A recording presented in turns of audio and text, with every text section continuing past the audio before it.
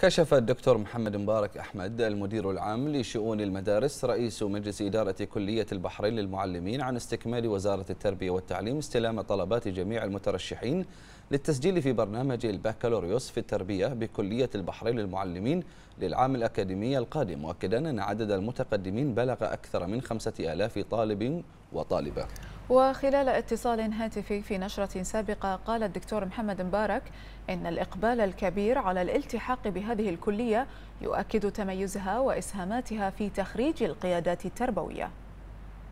هذه الكلية ومنذ تأسيسها أسهمت في تخريج أفواج متعددة من المعلمين وأسهمت في تدريب أعداد كبيرة جدا من القيادات التربوية. وأسهمت في تقديم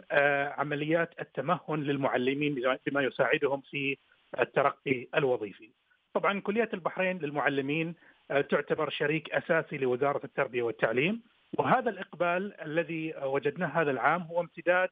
للخطط التي نفذتها الكلية من خلال مجلس الإدارة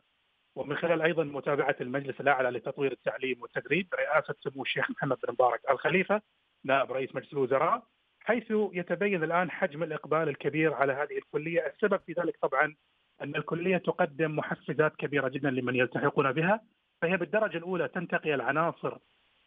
الأفضل من مخرجات المرحلة الثانوية، فتقدم الكلية في الواقع محفزات لمن يلتحقون بها من خلال منحهم مكافآت، في نفس الوقت تبرم الكلية معهم عقودا تعتبر بمثابة التوظيف المباشر في وزارة التربية والتعليم وفي المدارس الحكومية بمجرد الانتهاء من من الدراسة وبمجرد التخرج.